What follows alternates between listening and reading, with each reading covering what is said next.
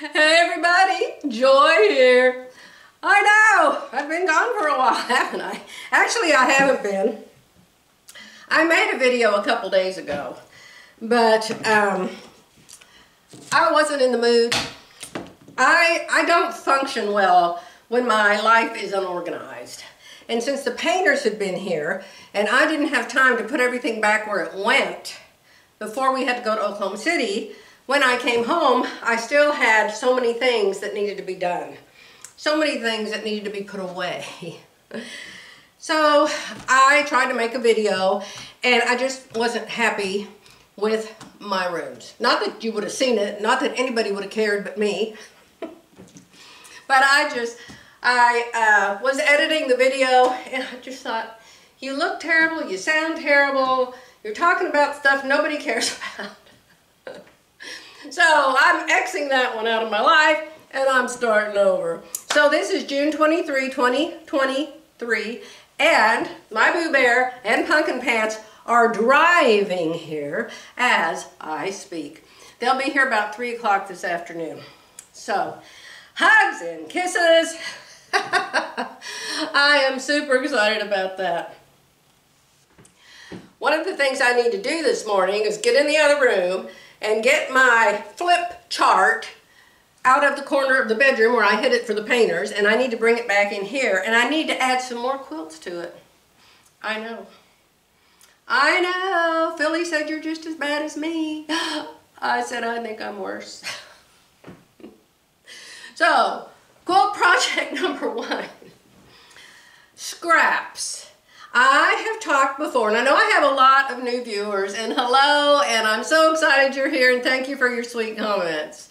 Welcome aboard. Now, I, you may have come to Joy Bernhardt. Don't you love the name of my channel? When I started my YouTube channel, I knew zilch. I knew nothing at all. and it said name. So I just put my name there. I didn't know I was supposed to put the name of my channel.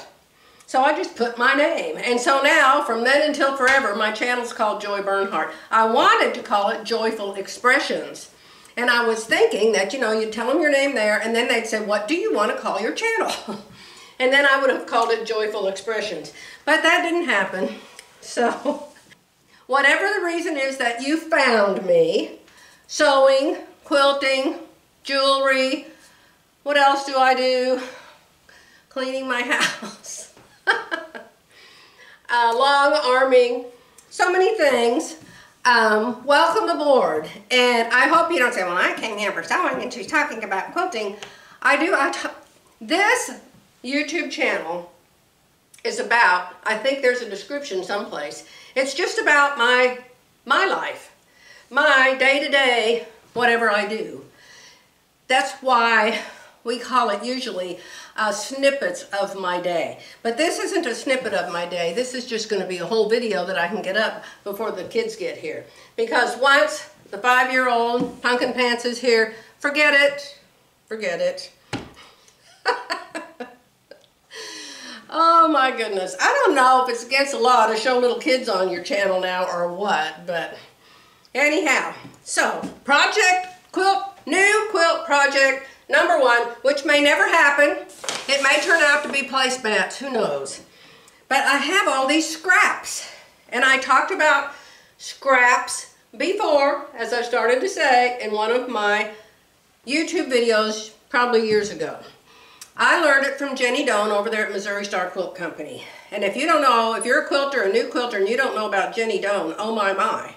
I'll tell you the two most important places, the most educational places, the most best teaching places on YouTube, if you're a new quilter, are Jordan Fabrics on YouTube with Donna Jordan, or Missouri Star Quilt Company with Jenny Doan, Misty Doan, and Natalie Doan. I think they're all Doans. so, you will get so much information, and Missouri Star Quilt Company has a daily special which is what got me in trouble to where I have way, way, way too many jelly rolls and too many um, layer cakes and too many charm packs. And I'm thinking about cutting those up and doing this very thing with those. Why not? I have them and I need to be used. So this is called, what is it called actually? You use your scraps. It's not called a scrap quilt. I don't remember exactly what it's called, but I'll, I'll think of it. You know, I always think of it, and then I'll put it up here somewhere. So you use your scraps. I've decided to make 16 inch square blocks. Why did I decide that? Because this got 16 inches long on one side. I thought, well, I might as well make it 16 inches long on the other side. So here's my 16 inch scrap block that I made. I didn't have time to really do anything and these scraps were all over the place from me making my um, block of the month with Edyta Sitar, the season in blue, seasons in blue or season in blue, something like that, block of the month. And so I've got scraps absolutely everywhere. and I've been keeping them in a little box. So I thought, you can tell, these are all her fabrics. I thought, why don't I just use them and make one of those scrap blocks up? So, this is it. And isn't it cute? I think it's cute. I like it. So it's not going to be like this in the quilt. What you do is you do half square triangles or quarter square triangles or cut it in strips or you can just make this be your block if you want to. It might look good with sashings. I don't know. It probably will never ever get finished. But I just wanted to show you in case any of you want a scrap project. Oh, I'll tell you another lady who's really good. Really good. She's a little redhead lady. Is her name Brenda? Brenda. Her YouTube channel is Conquering Mount, M-O-U-N-T, Scrap More. Conquering Mount Scrapmore. Hello, Brenda, if you're watching me. I think she's so big now. Her channel's grown so much she doesn't watch anybody else anymore. But very, very good. And she makes, I think she makes all her quilts out of scraps. So check that out. So that's new quilt project number one. I was in Oklahoma City. Jerry and I both had doctors. My doctor appointment was very early Monday morning, 8 o'clock. So we were all done with my doctor at 9.30. So we had the whole rest of the day to do something. So we went to the bookstore for several hours. You know how I love to do that. And somehow this book came home with me. it got out of the bookstore somehow and came with me because in it is a quilt. Now it's no big deal quilt, nothing really that special about it other than I loved the colors in it. The colors in it are sand like a beach and blue like an ocean. It's not an ocean, it's not a beach, but for some reason I liked it. And I have been wanting to make, I have a quilt in the RV, I made it when we first got the RV, RV number one, it's been in all three of our RVs now. But I want to have several quilts to put in there so we can change them through the seasons. And hopefully we'll be traveling a lot more in it now that Jerry's sling is off permanently and he is in the exercises now where he has to actively move his arm up and down. So he's doing real good. So once he gets his arm fixed, hopefully we'll be going a lot more places. So let me try to show you up close. It's called sand dunes. That's more than one dune, sand dunes. Focus. How's that? Is that a good focus? Now, do you see the blue? Let me show you the bedspread. This is what I really liked. Do you see the blues and the tan colors? Those pieces are paper pieced. And I really like paper piecing. And I thought it's just got one little square for all the paper piecing in the whole quilt. Let me show you it. Look at that harmless little thing. How hard could it be to learn to paper piece with that? Three pieces in it. Number two and number three are the same color. Number one is a different color. I have to make 200 of these for a king size quilt. but for some reason, I thought that would be fun.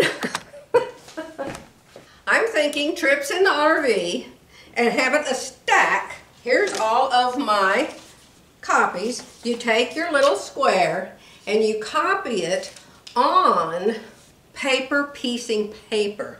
The paper piecing paper I am using is not that. I started out with one called Foundation Piecing.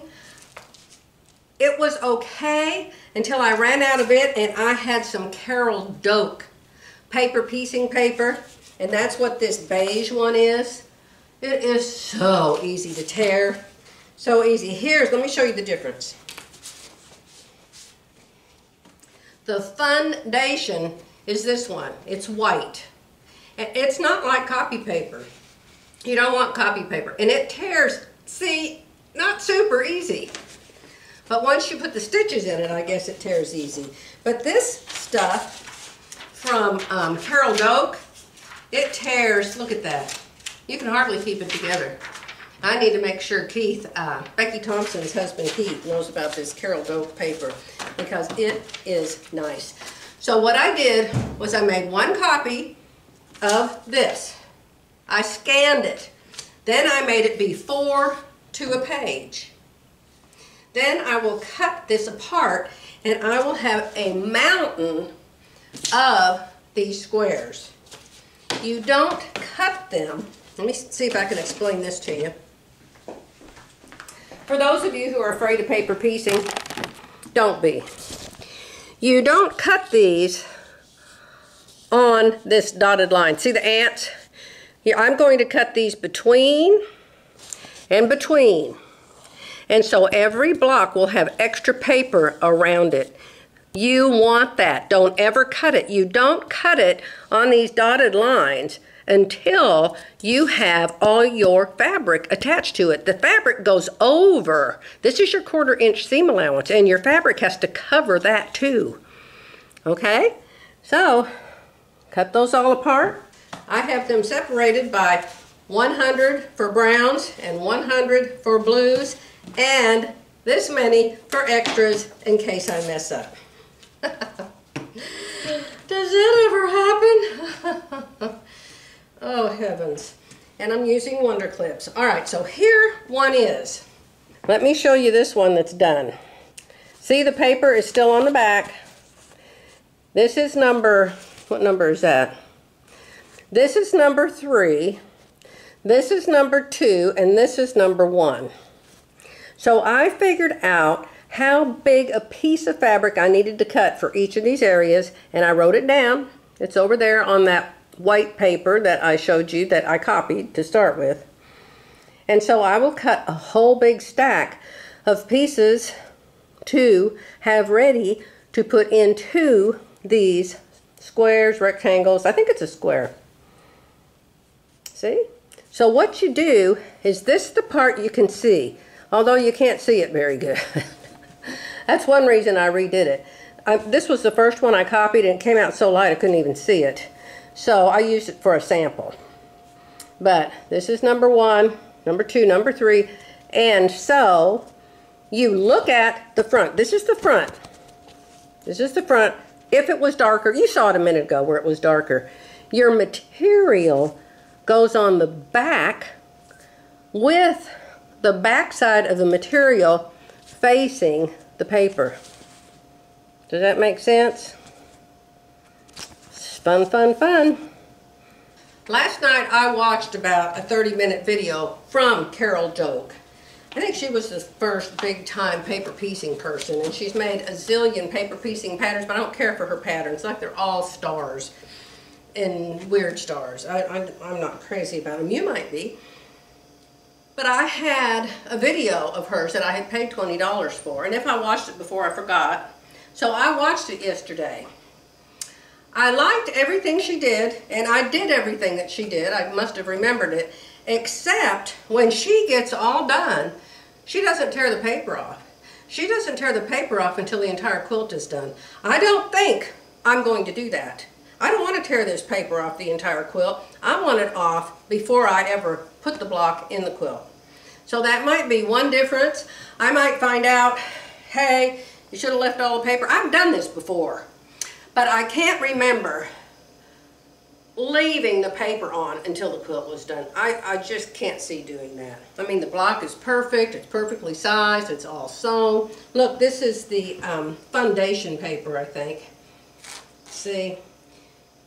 It tears off pretty easy. You sew it with, she uses a 9014 needle. I'm not doing that because I don't want to mess up my fabric with giant holes in it.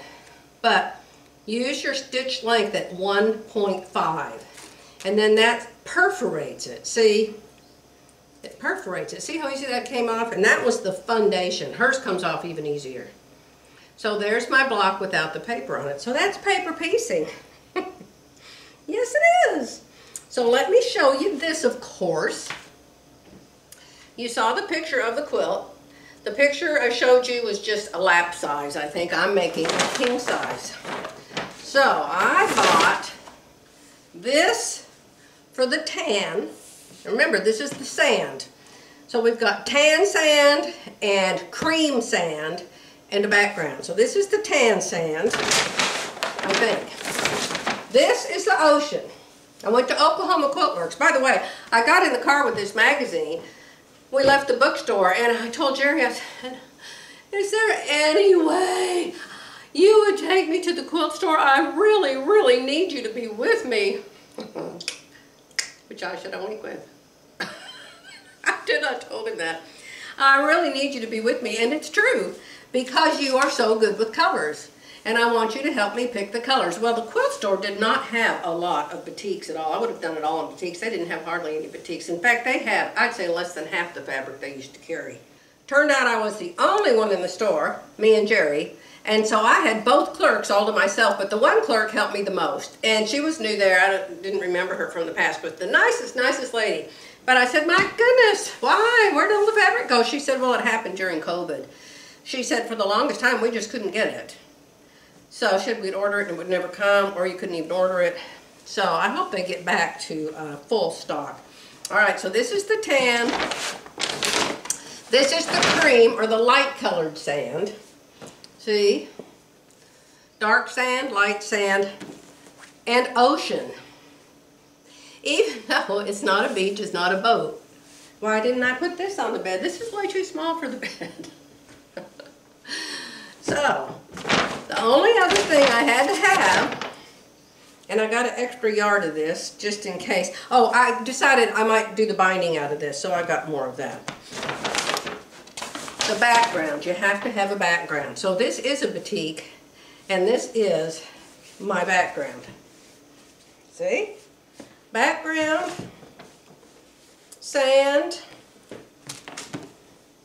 sand, background, and ocean. four pieces. That's another reason I liked it. You only had to have four colors, so I thought, oh my gosh, I can do four colors in the coach. So I will pre-cut everything. I will not pre-wash. I do not pre-wash quilt fabric. I pre-wash all fabric I'm going to make to wear. I do not pre-wash quilt fabric. I used to because I thought there was some kind of law that said you had to. This is from the quilt store. I said, do you have a bag? And she said, we recycle. And so she reached under the counter and she got me this.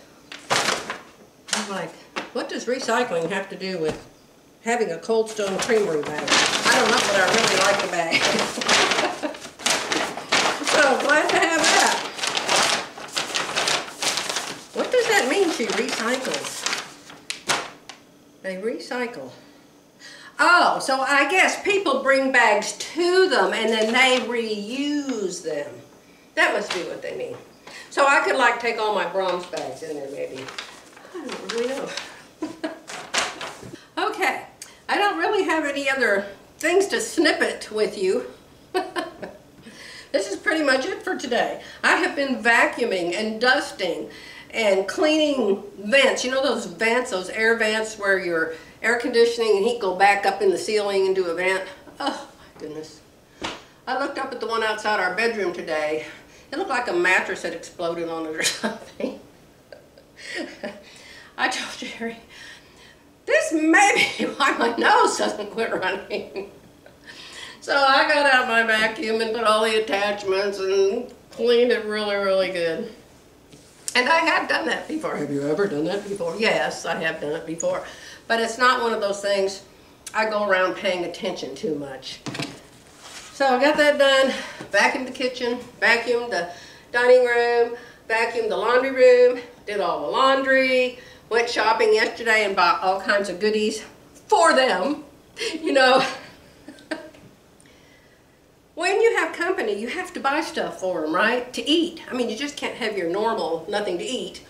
So, the little grocery store in town is called Super C, and I hardly ever go there because their prices are expensive, but it's handy. And they had these little containers of baby blueberry muffins and baby poppy seed lemon muffins. I think there was a dozen in each case, and the case is just like this big. I mean, they are really little. So I got home and I thought, you know, I should taste one of these. You know, I hate to have the kids eat these and they don't taste good. So I've had three poppy seed and two blueberry. oh, that's the worst thing about it, the worst thing. Because I just don't buy it. And then if it's not in the house, then I can't eat it. But they better get here sooner. They're liable to all be gone. Okay, dear ones, I'm going to let you go. My mind is on the kids. I really can't concentrate on any of this, and they don't even come up here. You know, this is my space, and they don't even come up here. We'll be downstairs, we'll be on the boat, we'll be outside, we'll be at the ponds. So I'll just basically just forget about this till they go home Monday or Tuesday. but I won't forget about you, I promise. I'll be back as soon as I can be. Hopefully something to show you. Oh, I didn't win um, the Fit Nice ABC Challenge again. I tell you, it's always somebody. It seems like I'm the first to put something up. And I'll think, oh, everybody loves it. Everybody thinks it's really great. And it'll go down to the last day. And I'll still be the only one there. Maybe a couple days before, two or three will pop up. But at the last minute, there's always a person who puts up the most amazing thing. I mean, she will have made a jacket and a blouse and a skirt and a purse and a hat and who knows what. so I still haven't won. But I've had fun doing the ABC challenge with Fit Nice. We're up to G now. I don't know if there's even any G garments. And I don't know that I'll even make one. Maybe I'll just quit doing it because it does take a lot of my time and I need to finish some quilts. And I know you will agree with me on that. Bye for now. Y'all have an amazing weekend, and I'll see you next week.